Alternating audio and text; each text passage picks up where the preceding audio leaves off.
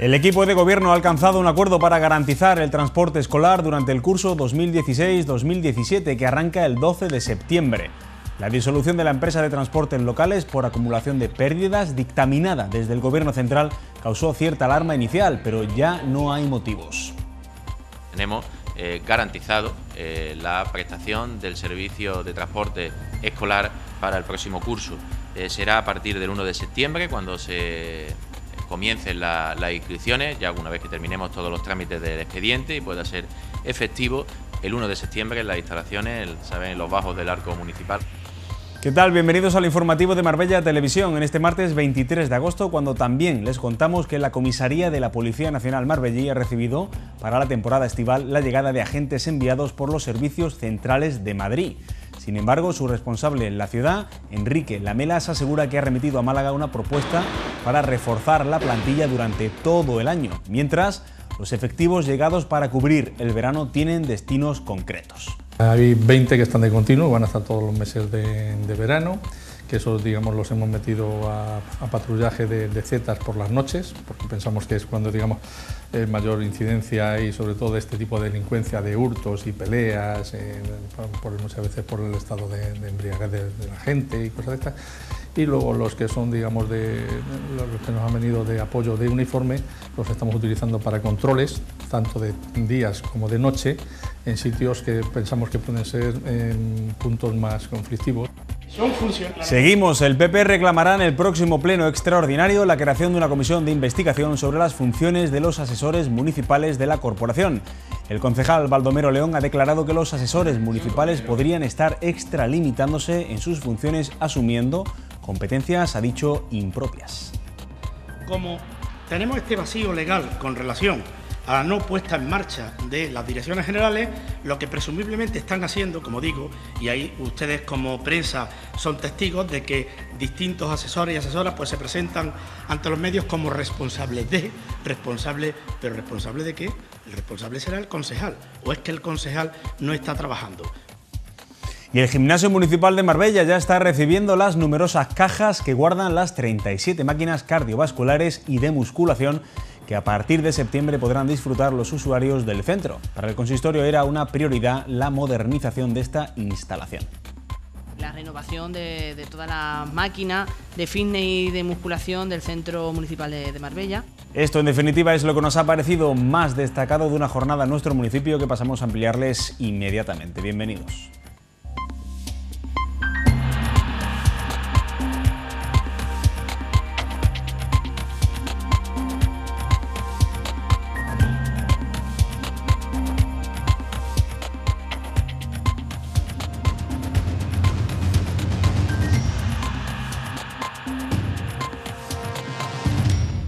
La disolución de la empresa de transportes locales por arrastrar pérdidas en los ejercicios 2013 y 2014 no afectará al servicio escolar del presente curso, una prestación de la que se benefician anualmente 675 alumnos. Ya distintos eh, compromisos que incluso se han eh, plasmado en acuerdos concretos con los trabajadores van a permitir la estabilidad de la plantilla, la continuidad de los servicios esenciales. En total eh, son 17 rutas, de, de ellas pues tres son universitarias los que van a dar este servicio.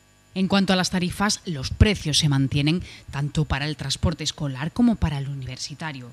De la misma manera, se seguirá proporcionando el servicio Aspandem. Un transporte que eh, tiene como destinatario a 55 personas usuarias tanto del centro de atención de Aspandem como también de los centros ocupacionales como el vivero y que en este caso es gratuito para los usuarios y, y asume pues a través de un importe de 39.000 euros anuales la Delegación de Derechos Sociales. La propuesta que ha sido aprobada en la Junta de Gobierno local incluye una subvención dirigida a aquellas familias que tengan más de un escolar eh, matriculado en el transporte, es decir, a partir del segundo hijo recibirán un 50% eh, de bonificación de los precios. Un curso completo de colegio e instituto 321 euros y el universitario 600 40 euros. Las inscripciones pueden realizarse a partir del 1 de septiembre en las instalaciones ubicadas en los bajos del Arco de Marbella.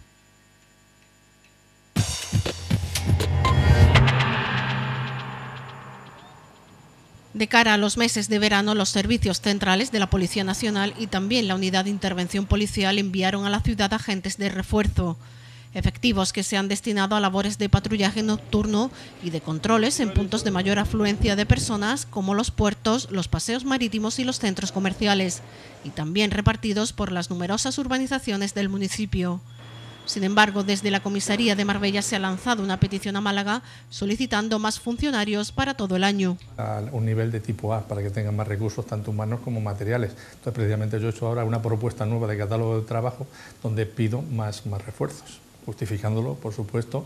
La extensión del término municipal, su prolongado litoral y la dispersión de sus urbanizaciones, además de contar con varios núcleos urbanos, son elementos añadidos que incrementan el trabajo diario de los agentes. Por ello, su máximo responsable Marbella asegura que pese a que no se perciba, el municipio se encuentra a la cabeza de las ciudades con mayor ratio de policía por habitante. Son casi 110, 100, perdón, 110 kilómetros cuadrados y una extensión de 27 kilómetros lineales de costa, con cientos de urbanizaciones. Entonces, fíjese usted que nosotros, por ejemplo, tenemos la ratio de policía por habitantes mayor que toda la provincia, incluso que la, que la provincial, la Comisaría Provincial de Málaga y sin embargo muchas veces no lo parece. También la dispersión de las instalaciones con la Oficina de Documentación de Extranjería en La Patera, la de San Pedro y el SATE en la Plaza de los Naranjos obliga a dotar al municipio de más recursos humanos.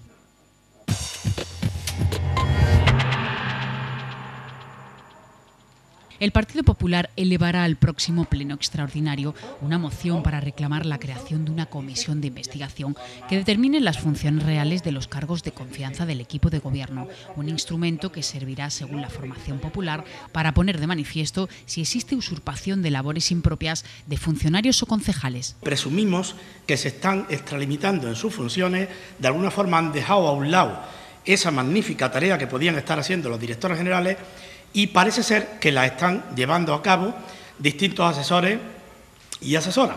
Funciones que quedan plasmadas en un informe jurídico de julio de 2015 que el Partido Popular ha reclamado y, según Baldomero León, sistemáticamente les había sido denegado. Hemos tenido que llevar este tema también al Tribunal Superior de Justicia de Andalucía y el fiscal ha dicho que efectivamente de entrada se estaban vulnerando los derechos fundamentales porque no se nos había dado la información. El responsable del área de recursos humanos, Daniel Pérez, ha asegurado que el reglamento de directores generales vigente da solución al problema de elección de los directores generales de la anterior corporación municipal.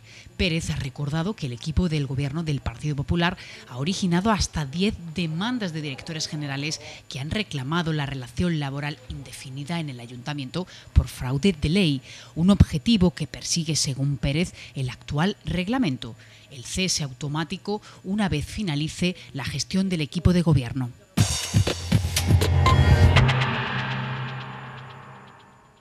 Aparcamos la política para hablarles ahora de una iniciativa consistorial al aire libre dirigida a todos los públicos y tan entretenida como formativa e incluso deportiva. Dentro del programa Salidas a la Naturaleza puesto en marcha por la Delegación de Sostenibilidad, el próximo sábado 27 de agosto tendrá lugar una nueva ruta familiar por el paraje conocido como el Pico de la Mairena. Con una distancia aproximada de unos 7 kilómetros y organizada en colaboración con Mujeres en las Veredas, esta nueva salida tiene la particularidad de que será nocturna. Un mirador, mirador natural que tenemos eh, en la zona del Viria a lo que es la ciudad, al Mediterráneo, al Estrecho y hacerlo además por la noche supone pues poder ver nuestra ciudad por la noche, poder ver todo lo que es el estrecho, las ciudades del norte de, África iluminadas eh, y es una perspectiva en definitiva nueva que queremos enseñarle a la gente. ¿no? El programa se cerrará el próximo 4 de septiembre con una salida a Tarifa, en donde se ha organizado un avistamiento de cetáceos y de aves en el estrecho de Gibraltar, en colaboración con Marbella Activa y con diferentes asociaciones de la zona. Un avistamiento de cetáceos y también de lo que es eh, avistamiento de aves en el, paso natural que es el estrecho de Gibraltar. Nos acompañan algunas asociaciones como la SEO, donde nos van a explicar un poco la tipología de aves que utilizan este, este pasillo y también subimos a la gente con una, asociación, una ONG que se dedica a subir a la gente, a hacer las salidas al avistamiento de, de los cetáceos. De cara a la próxima temporada de otoño, la delegación ya trabaja en la elaboración del programa de actividades de educación ambiental dirigido a los centros educativos. Para ello, en esta edición se incluirá a personas y colectivos sociales del municipio. Hemos eh, invitado a distintos colectivos sociales a que nos ayuden a conformar lo que es la oferta que vamos a dirigir a los centros educativos, todo lo que es la educación ambiental. Y no solamente nos ayuden a conformarla, sino que nos ayuden a hacerla también. Esto que ya algunos colectivos hacen, como Mujeres en las Veredas, eh, Produnas y demás, lo hemos estirado o extendido al resto de colectivos para que sean ellos también los que conformen esa oferta que la Delegación de Sostenibilidad hace hacia los chavales. Acabamos de pasar unos días muy calurosos en la Costa del Sol y las medidas de refrigeración tanto dentro como fuera de casa son especialmente importantes. Hoy con viento de levante parece que el terral se ha ido y las temperaturas van a permanecer más bajas en esta penúltima semana de agosto. El clima característico de la Costa del Sol es uno de los principales atractivos para cientos de visitantes todos los años, pero es necesario conocer algunas medidas preventivas para la deshidratación y los golpes de calor.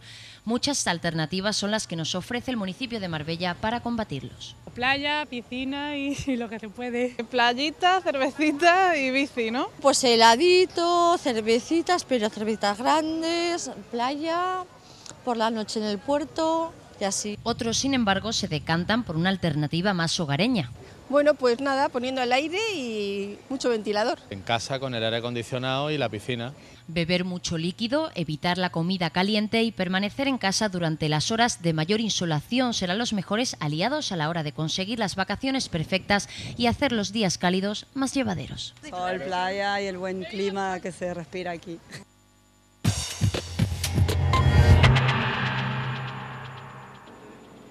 Vuelve el Festival Coplas de Carnaval de Marbella, que en su vigésimo sexta edición se celebrará en el Palacio de Congresos. Lo hace poniendo en el mapa de Andalucía la ciudad de Marbella con un cartel envidiable.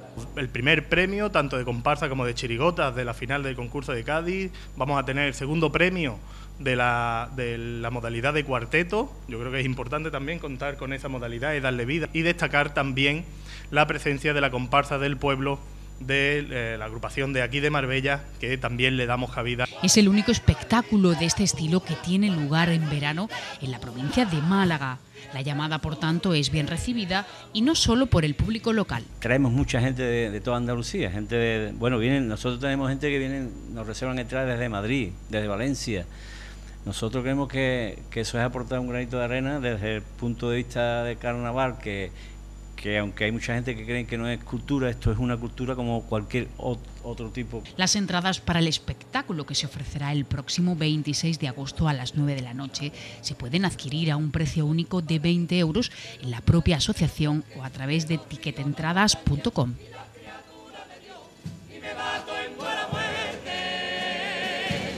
cualquiera que me a la madre que me parió, a la madre que me parió.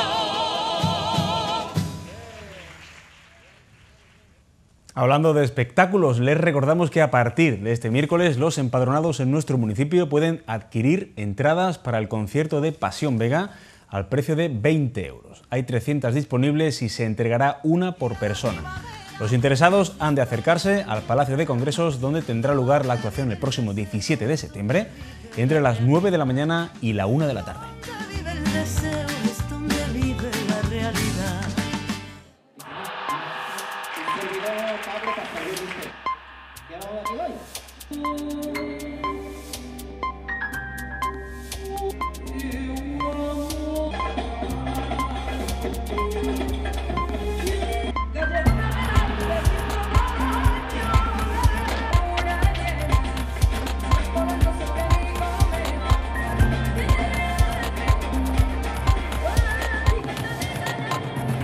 Ese dinerito, pues como casi siempre, nos viene muy bien pues para esas cositas que hacemos para nuestros mayores, que si una agüita, que si una luz, que si unos detallitos para Navidad, de comidita y de cositas, que siempre tenemos donde, donde darle un buen, un buen, una buena utilidad a ese dinerillo.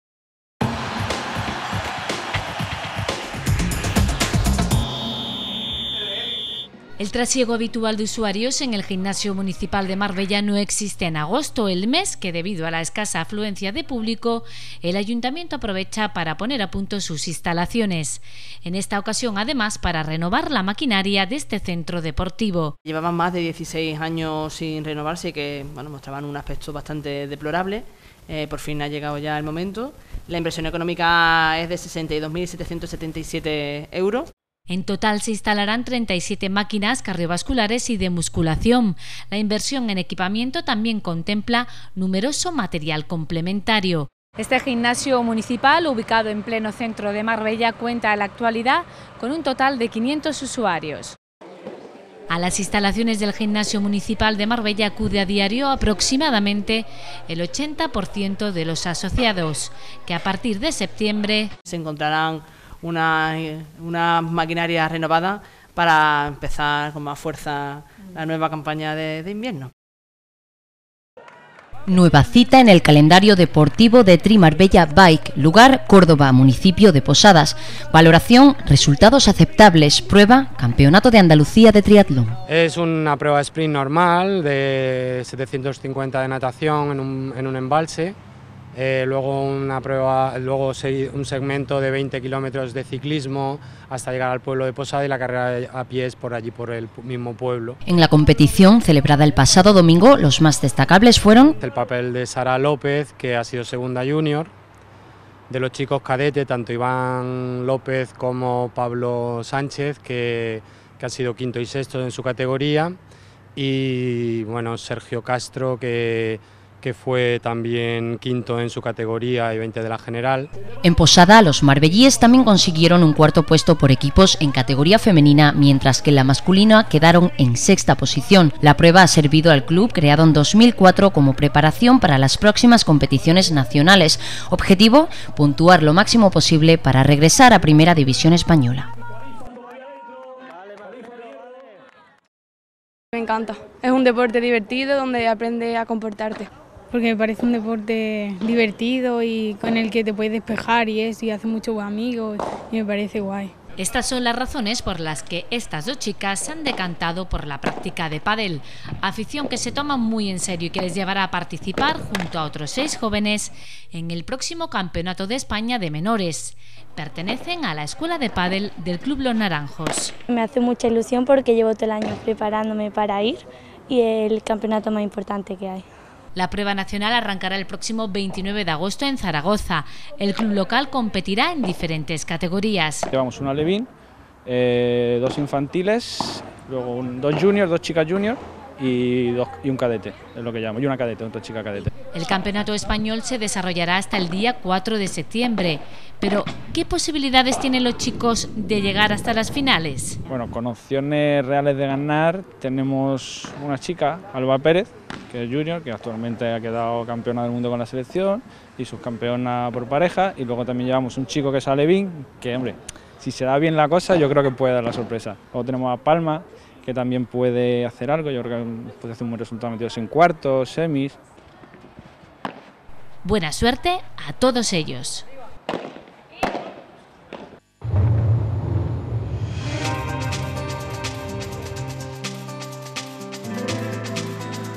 Este miércoles en la provincia de Málaga cielos con intervalos nubosos a primeras horas disminuyendo a poco nuboso durante la mañana, temperaturas sin cambios y vientos de componente este. En Marbella, cielos nubosos con algunos chubascos por la mañana que se irán despejando a lo largo de la jornada del miércoles. Temperaturas que continuarán estables y tendremos vientos de componente este.